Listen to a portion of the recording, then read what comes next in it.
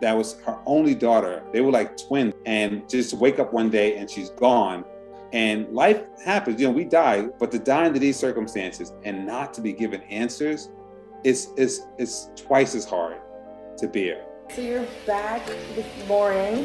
What exactly happened to Lauren Smith Fields is the puzzle her family and their attorney, Darnell Crosland, are trying to solve nearly two months after Lauren was found dead in her Connecticut home. Bridgeport police have now announced they're investigating this as a criminal case, but at this point, Lauren's family feels there are still more questions than answers.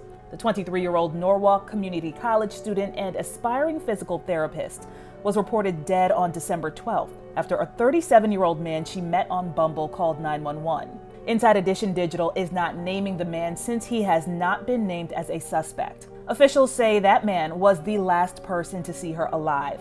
This police report says he told cops they'd been drinking tequila, and Lauren told him she started to feel sick before she went to the bathroom and threw up. The man says she returned, they kept eating, drinking, and watching a movie.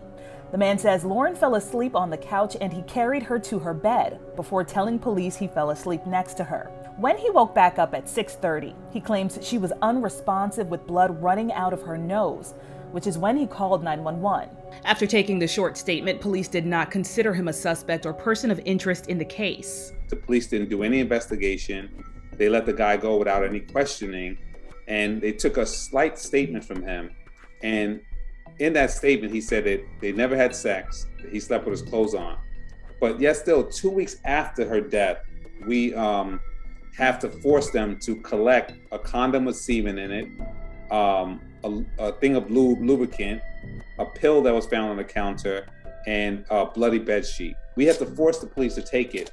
And to, to this day, those items still have not been submitted to the state forensic laboratory. Attorney Crosland says many people have reached out to his office claiming the man had some sort of personal relationship with the Bridgeport Police Department. I have to say that we're looking to get the phone records of Detective Cronin, who was there at the scene at the same time.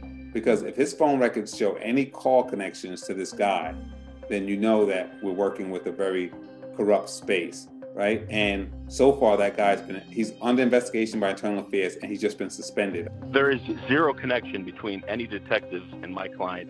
So, you know, you look at the situation, and when you mention the fact that they might have been racially insensitive or disregarded this family because of their race, people say, well, maybe you're playing a race card.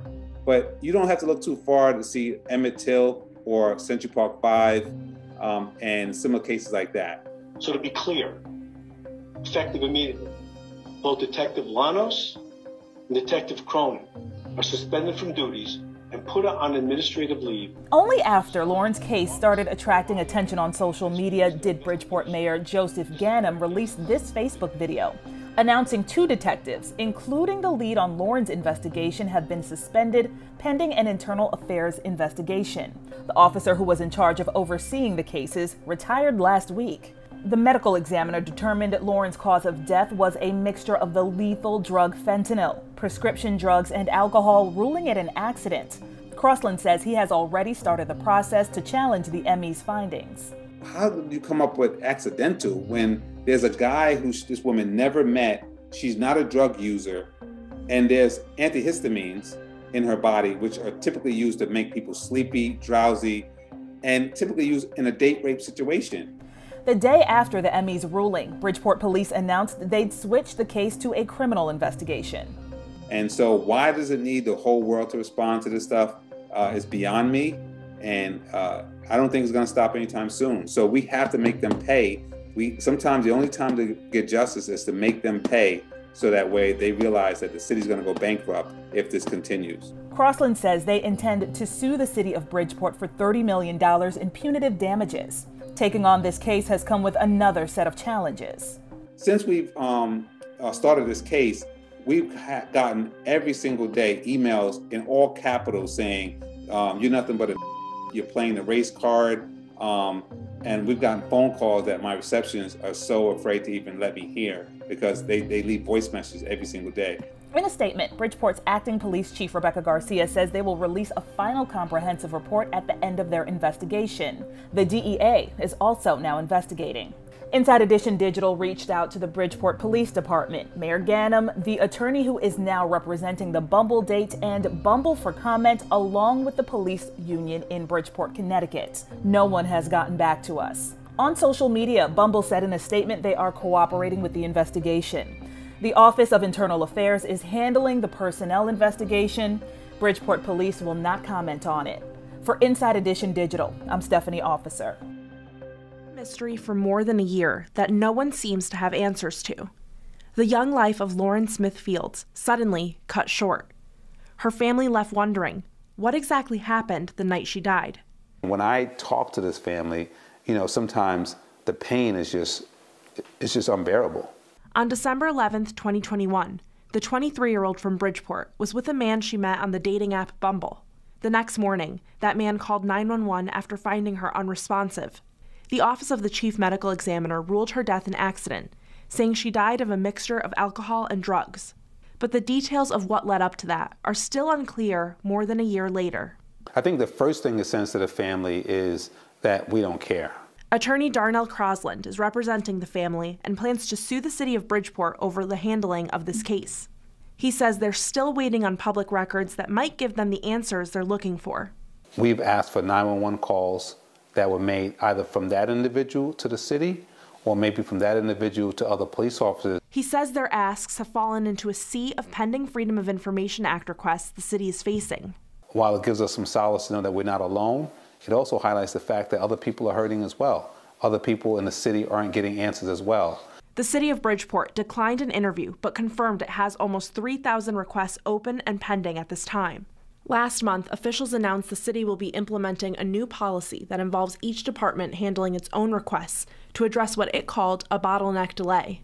For Smithfield's family, though, the lack of answers from investigators started long before the so called delay. They were not notified of her death by police, but rather by her landlord. When they aren't notified when their loved one dies, and they come two days later to find out, find a note on her door the disregard and disrespect starts right there.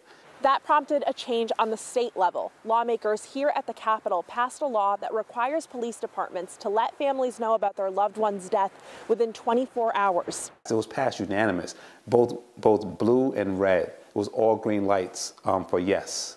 And so we're happy that that passed because in the future, other people will benefit from that. An internal affairs investigation into the Bridgeport Police Department's handling of her death has been completed, but what it found continues to be one of the family's many unanswered questions. We haven't gotten the results of the internal affairs. Not a finding of yes, not a finding of no, just nothing. Bridgeport police also started a criminal investigation into Smithfield's death, led by its narcotics and vice unit. That investigation is still ongoing. Gabby My Molina. problem is that they're saying that the investigation is is closed. What investigation? They never started an investigation. It took us three days for them to even tell us where her body was located at. We had to keep begging them and calling them to ask them, can you just please tell me where my babe, where my child's at? In December 2021, Lauren Smith Fields and Brenda Lee Rawls died on the same day in the same Connecticut neighborhood.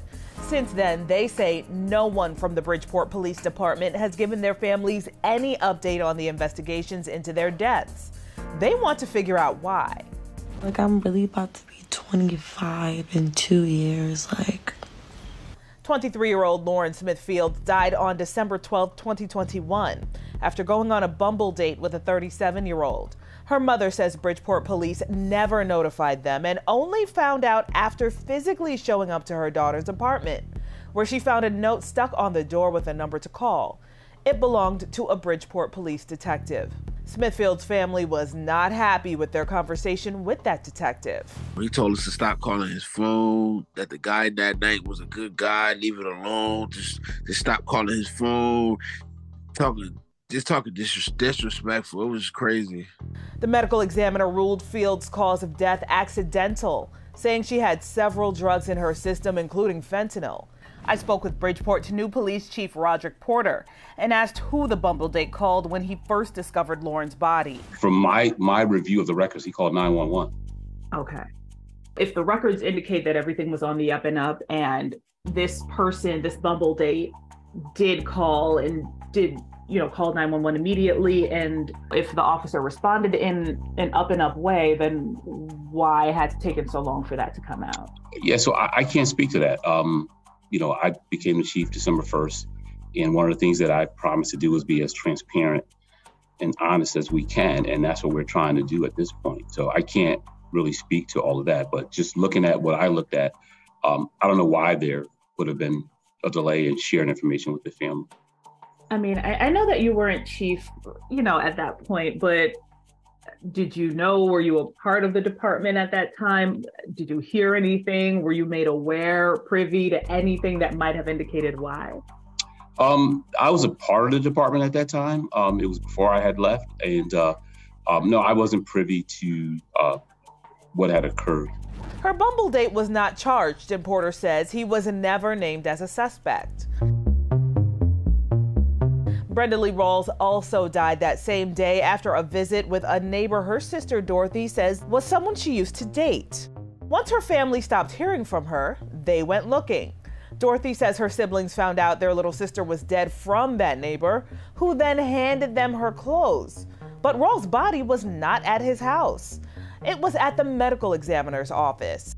The ME ruled Rawls died of natural causes, heart disease triggered by diabetes. She was 53. Her family was outraged by how authorities handled her death. The case was never about if she had illness or not. The case is specifically about the fact how they treated my sister like a Jane Doe in death, how they violated her civil rights, how they violated the family's civil rights without even notifying us.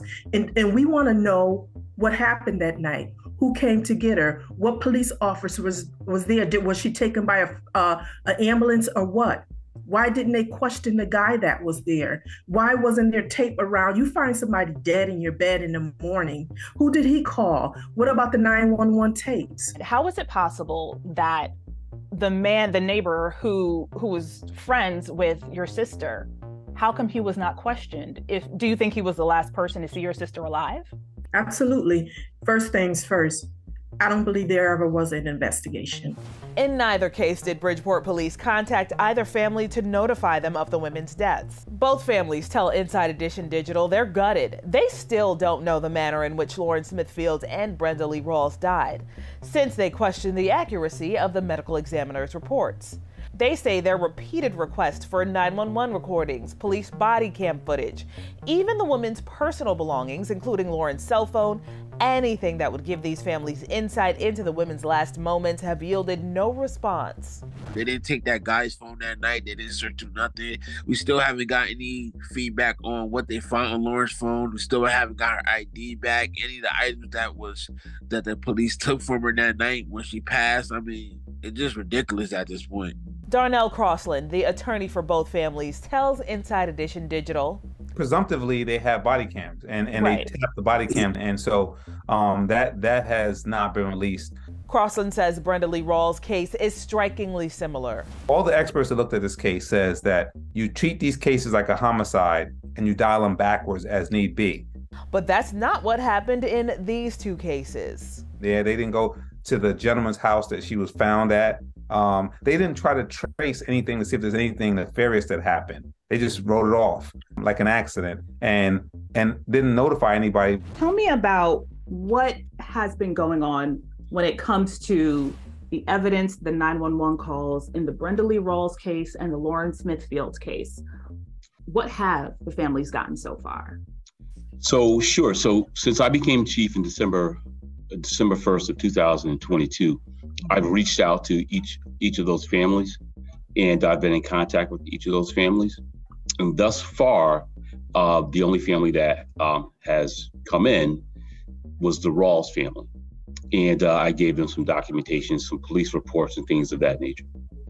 Um, the Smith family, we were in contact, but we've not yet secured a time for them to come in. They wanted to speak with their lawyer, and uh, they've gotten back to me as of this point why did it take so long or why is it taking so long for these families to collect the belongings of their loved ones and to get 911 recordings and police reports and all of the things that many other cases and the loved ones of victims get within hours and days of the initial incident So um, I can't speak to all of that. I can speak to the time that I've been here, but I can say to you, I'm not sure what belongings that they have not been given. Um, I do believe there were some belongings that were that were returned. Um, as I read the reports, I do see um, some notations that there were some belongings that were returned. So I'm not sure what outstanding belongings there are. One small victory came for the Rawls and Field families in the spring of 2022 when local lawmakers voted unanimously to require police to notify the families of deceased relatives within 24 hours. But a recent Hearst Media Connecticut investigation turned out that the city of Bridgeport has a backlog of more than 2,000 Freedom of Information Act records requests.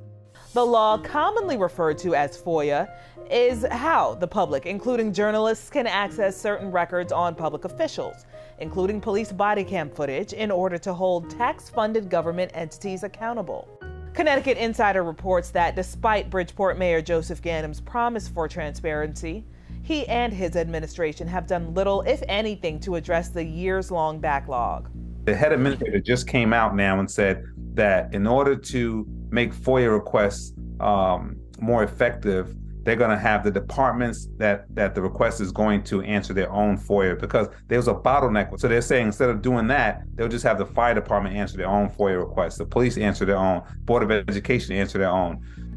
And I know that Mayor Ganim has come out and said they want to streamline the process. That's something you just referred to. Mm-hmm. So when is that happening? Is that now? Is there a set date? Has it already happened? So, in terms of uh, these two cases, we've begun the process of reaching out to give information um, as it relates to the FOIA process. I'm not sure everything that they're looking for, but we have made overtures to have them come in and give out information. He turned down a request to appear on camera, but through his spokesperson, Mayor Ganim tells Inside Edition Digital that FOIA training in Bridgeport began during the second week of March 2023. When asked about the previous police chief who oversaw the investigation before Chief Porter took it over, Mayor Ganim said it was a personnel matter. When asked whether his office could send over any police body cam footage, 911 call tapes, or transcripts, he told me to file a FOIA request. Chief Porter told Inside Edition Digital their investigation turned up no evidence of foul play in Brenda Lee Rawls' death if it was so well done, then why the hesitation from the Bridgeport Police Department? And, you know, I had reached out to the police department back then. Mm-hmm. I reached out to the mayor back then, and n- no one would say anything. If it was done on the up and up, then why not just come out and say, hey, this was done and, and avoid the speculation and avoid the frustration from the families? No, I mean, I think there were some things that we could have done better. I mean, there's definitely mm-hmm. were things that could have done that should have done better. Our communication to the family definitely could have done, been done a, a, whole lot better. And, um, you know, so we're trying to improve upon that. Um, and uh, we're trying to be transparent. Um, you know, I arranged to, or tried to make arrangements to meet, meet with each family prior to being contacted by you for any interviews or anything like that. The sentiment in this across both cases is that you know had these two women been of a different race we wouldn't even be having this conversation right? The thought is that when it comes to these types of cases black women are constantly just shoved aside. You know we don't get as much attention or care as maybe some women of other races what mm-hmm. do you have to say to that no i, I would say sadly uh, you know in many respects sometimes that is true um, you know, sometimes it's perception, sometimes it is reality. Um, but not just black women, but you know, black people in general.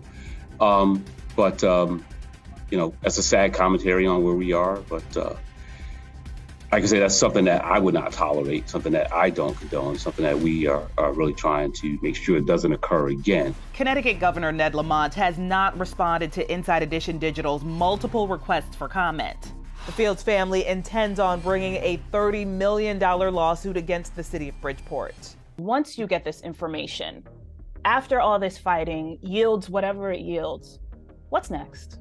Well, for me, the officers that was there at my daughter's apartment, I want them I want them to be held accountable for how they act. Um, my plan to move forward is to concentrate on helping others. And in January 9th, I opened my private practice. I'm a, nerd, I'm a psychiatric mental nurse practitioner. Mm-hmm. My plan is to throw myself into helping others who suffer from mental illness. My private practice is called My Sister's Keeper. And it's dedicated to my sister Brenda. Hopefully, in efforts not to remember them by the way they died, but instead to hold Lauren Smith Fields and Brenda Lee Rawls' memories by the way they lived and as their families described them as joyous. Questions about the police investigation into the dating app death of a young woman, Lauren Smith Fields, in Bridgeport, Connecticut. Investigative reporter Sarah Wallace delves into that mystery. They wanted us to forget about our daughter, their sister, our loved one. They they thought they was gonna just throw her away like she was garbage. Amid this family's anguish are emotions of outrage and disgust at how the Bridgeport Police Department has investigated the mysterious death of 23 year old Lauren Smith Fields. It was careless, it was no concern, there was no like care for the family about how we felt, our grief, our pain, none of that. The I team obtained this police report of the response to a 911 call from Lauren's apartment on the morning of December 12th from a white male identified as Matthew LaFountain. The investigator notes he was trembling and visibly shaken. LaFountain said they met on the dating site Bumble, began drinking shots of tequila, and Lauren became ill. That later they played some games, ate some food, and started to watch a movie. He says he carried her to her bedroom and laid her in her bed. He then laid down next next to her and fell asleep. He woke up again at approximately 0630 hours and she was laying on her right side. Blood was coming out of her right nostril onto the bed and she was not breathing. The whole day goes by. No police reach out to the family at all. Her close knit family says they went to the apartment the next day after frantically calling and texting Lauren and were referred to a detective Cronin. They didn't even contact us, they didn't let us know anything. It's like crazy. And I'm asking what's going on. He said she met some guy on Bumble, and I'm asking about the guy. He was like, Oh, he sounds like a really nice guy. He sounds like a really good guy. And he was like, uh, I'll call you back and just hung up in my face. They say the detective promised to come by the apartment. Never showed up. The family says the relationship with police devolved from there. No contact from December 13th until December 29th.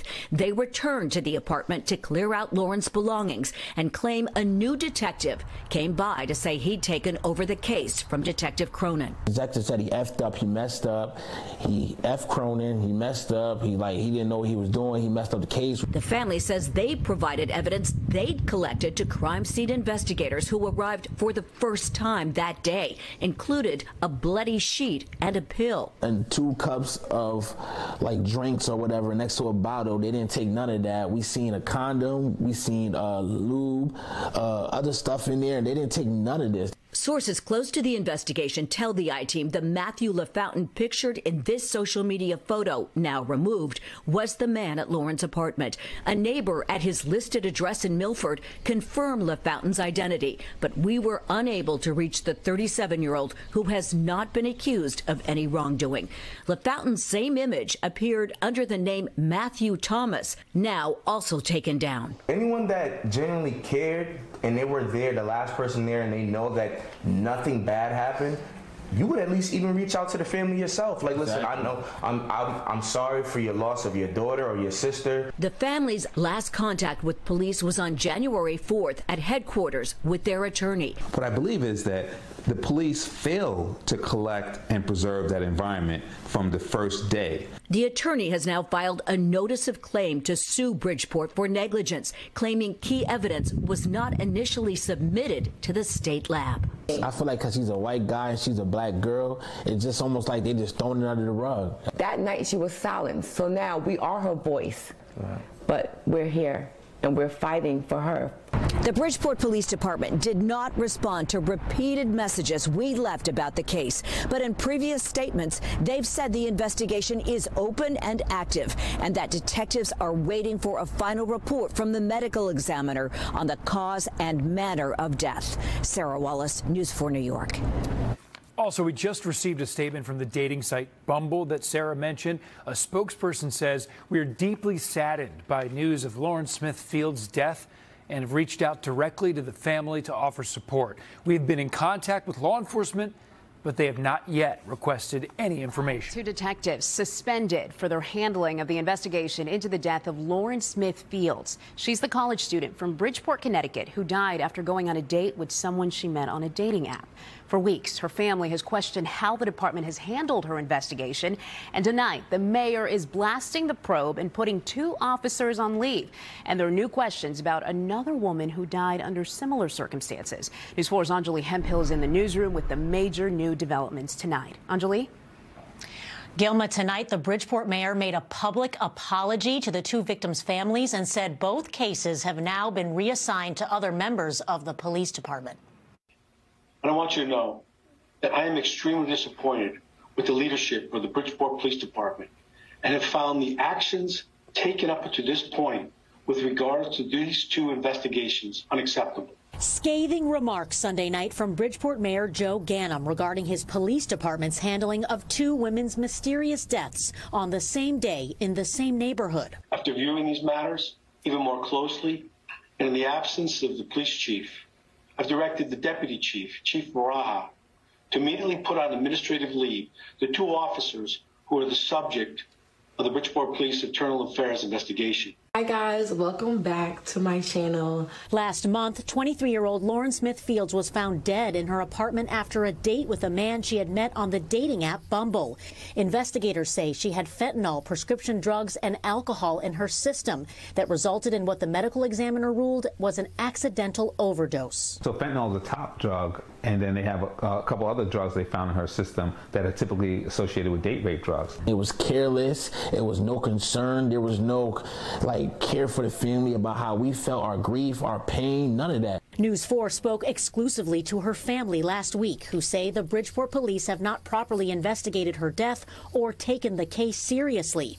Meanwhile, the family of another woman, 53 year old Brenda Rawls, have made similar allegations against the department. And she has family that loves her, and we're going to miss her and we'll never forget her. We're always going to have this pain in our heart for her. Rawls was also found dead in Bridgeport, and like Smithfield's family, they say police never even notified them of her death. Both these deaths happened not only in the 138 district, but the exact same precinct on the same day.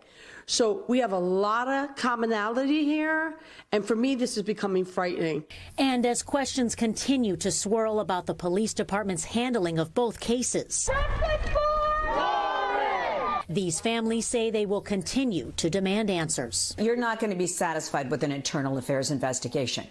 No, I want an outside investigation. We want the Department of Justice to come in and do their own investigation. And also tonight, the Smithfields family attorney called the mayor's statement and actions a step in the right direction. Live in the newsroom, Anjali Hemphill. A young woman in Bridgeport, Connecticut, who died last month under very suspicious circumstances. Lauren Smith Fields was found in her apartment by the man she had had a date with the night before. Her family accuses police of mishandling this investigation. Newly released autopsy results conclude that her death was, quote, an accident. Elise Preston is here with more on the story. You're back again from yesterday, Elise. It's very troubling. The more we hear, the worse it seems to get. It's very concerning. Good morning, Gail. Preliminary results from the state paint the first real picture of how Smithfields died. The medical examiner found Smithfields died of acute intoxication from a combination of drugs and alcohol. The results showed fentanyl in her system, along with two other drugs. The autopsy says the combination of those substances with alcohol led to what it calls an accidental death. In a video statement last night, the family attorney said they believe there was foul play. Someone introduced those drugs to her system, and it wasn't her. And we want answers right now.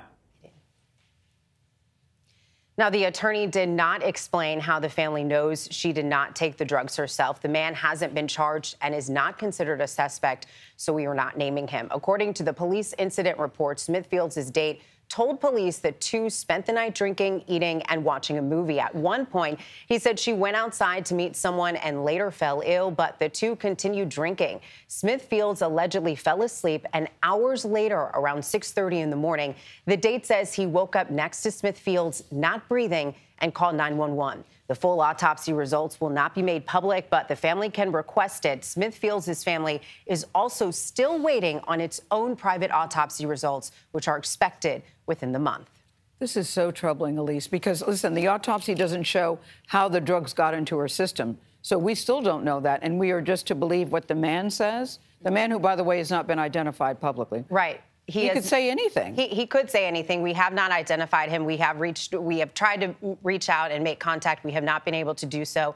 But the family has been questioning from the very beginning: Has she been drugged? They found, they say they found an unidentified pill in the home. Mm-hmm. They said they sent that, or they had police take it for processing. We call the state lab. They don't have anything in their possession related to Smith Fields' death. And we're not identifying him because he's not been charged? He has not been charged. He is not a person of interest, according to police. Well, I think just how the family responded Yes. to how the police didn't really listen to their calls for concern is, is also disturbing. At least, thank you. I can go on and on about Lauren and, you know, so many different memories and like all the years that we spent together.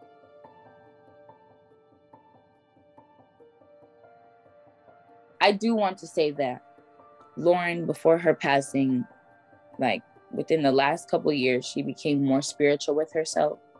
I feel like that gives me some type of acceptance that her soul is okay because here she was trying, but Lauren was never the one to take drugs. Like, absolutely not even marijuana, like, absolutely nothing like that. She never needed it. Like, honestly, she, the girl was just a ball of life. Like, she was what, you know, what people would say high off life.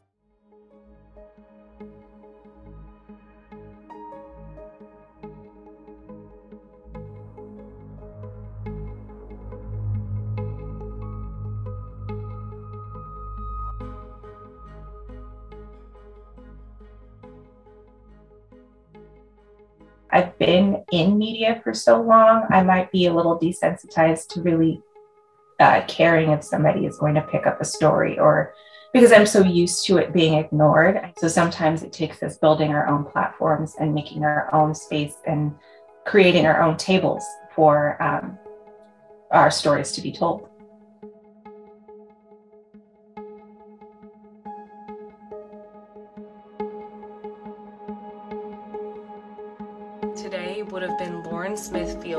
24th birthday. year-old Lauren Smith Fields was found dead in her Bridgeport, Connecticut apartment after going I have an update for you guys Elizabeth in regards to the case of Lauren Smith Fields and Brenda Rawls. So I first heard about Lauren Smithfield's case back, uh, I think it was like mid to late December, and it was actually a follower had asked me to look into it. You know, what immediately struck me was how little information there was. This was a woman who had died under mysterious circumstances, but they were talking about how the police said that they weren't looking into the guy that was last with her and that just really it honestly just really irked me and made me really angry. And so I decided to post about it and share all the information that was out there, which was, you know, close to nothing. Please share Lauren's story. The more attention this story gets, the more likely the Bridgeport Police Department will do a proper investigation and get Lauren's family answers. We know that some scenes are just failed because the officers on scene didn't realize that there was something going on. But when you have a scene that is so clear, this is a stranger. It's inside of her home. There is questions about the scene. I don't understand why you wouldn't. And the only thing I can say is it leads exactly what we've always been talking to, which is the officers on scene are not taking black women seriously. They just thought of her as well, it must be an overdose. Is there anything about her case that stood out to you, something that surprised you at all? after Gabby Petito's disappearance and all of the conversation around the lack of equitable coverage, I was hopeful going into the future that maybe we'd see some differences in coverage. And so for me, seeing Lauren's case, it was um, it actually hit me pretty hard to see that social media was so far ahead of the mainstream media because it was a really stark reminder of how far we have left to go when it comes to the missing white woman syndrome. The missing white woman syndrome is a term that was coined by um, the late and amazing journalist Gwen Ifill.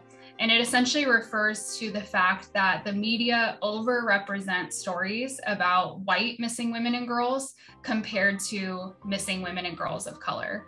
Um, I never set out for our Black Girls to be an organization or a nonprofit. I just wanted to do something to add my voice to a cause. Um, as I saw these girls and these women that look like me, they look like my friends, they look like my family members. Historically, Black women have not been seen as full people. I mean, even as simple as going to the doctor and saying that you're in pain, as simple as the mortality rate when it comes to um, pregnancy and birth within Black women. Our pain, our voices are often the last. Even when it comes to dating, if you talk about dating apps, we're the most, we're the least desirable. Take me back to the moment when you first heard about Lauren's case, and why were you compelled to become involved? Um, I thought it was important to be involved in a case like this because um, I w- I'm living in an era where um, Black lives aren't valued the same as white lives. Um, and I mean that from a systemic standpoint, not from my neighbor or friends that I know who are white or other from other races, but systemically, um, whether it's implicit biases or straight out racism, it's something that devalues our lives. So when I heard how her daughter was just disregarded, etc., um, I said I was all in. So um, I signed up right away, and um, we've been working ever since. So, according to the autopsy report, Smith died of acute intoxication due to the combined effects of fentanyl, alcohol, and prescription medication. What does Lauren's family want us to know about her? The mother wants, you know, the biggest misconception about this case is this implication that she was using drugs. The idea that the um, the the idea that the medical examiners will say this was an accidental overdose leads people to believe that she was using drugs and just took too much. That's a misconception. She wasn't using drugs and took too much. She doesn't use drugs, and so you get some negative people saying, "Oh, that's what it was. She she was just a drug user." Now they're saying it's race. No, that's not right. Um, and aside from that, she wants you to know that her daughter was beautiful, ambitious. She was in college, studying to be a physical therapist. She was just a great kid, and she's a kid. That's that's what it was. She was 23. Can you talk about the ideal victim stereotype and explain the treatment of white victims versus black and brown female victims by the criminal justice system? So, when I think about the ideal victim stereotype, I think it's important to point out that in the United States, we actually have a very long history of white women and girls being viewed as the ideal victim. Um, the ideal victim is essentially a person or a group that, when they are victimized, they're believed to be innocent, blameless, and deserving of protection. And in essence, the ideal victim is somebody who is worthy of our collective attention, but is also viewed as worthy of the collective resources as well.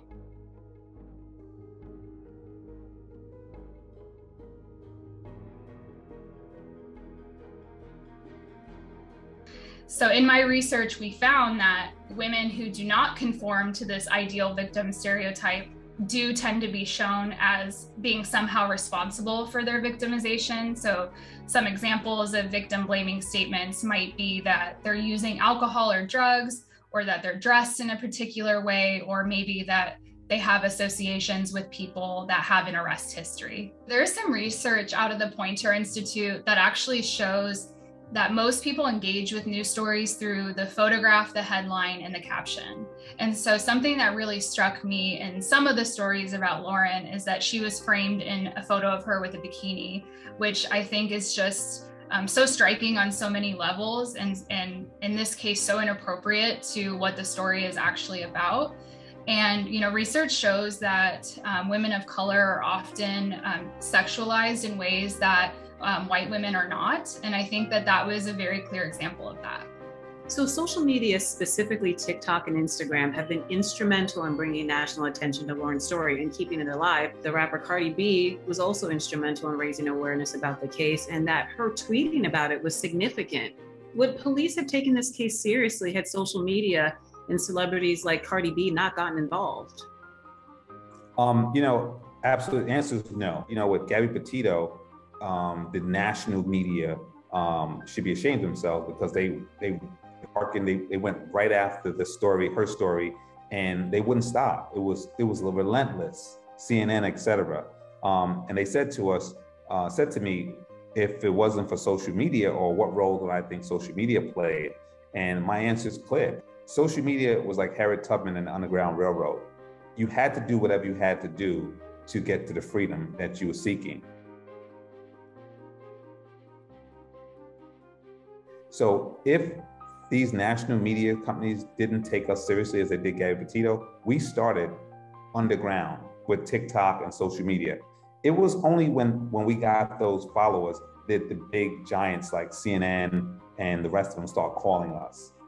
You you you could bet your bottom that if it wasn't for the groundswell in social media and the underground um, movement that we started, they wouldn't call us. I think that TikTok is unique in its algorithm and the way that videos can go viral. I mean, I've literally seen products sell out because of a viral TikTok video. So I just don't think it would have reached as many people had it not been for the TikTok videos that went viral about it. And and I, I think that if it hadn't reached that many people, I mean, maybe they would have done a criminal investigation, but I don't think the whole uh, internal affairs investigation into the detectives, I don't, I honestly don't think that that would have happened because it would have just been the family who was outraged, not so many people around the world. In your ideal world, what would justice for Lauren look like? For us, justice can never really be achieved until we stop losing young girls like Lauren. I know here on earth she was a very good soul, so I know in the afterlife God needed his angel back, obviously. Like he just wanted her back. So I think that gives me peace of mind that, you know, she was very in tune with herself. So I know she's okay.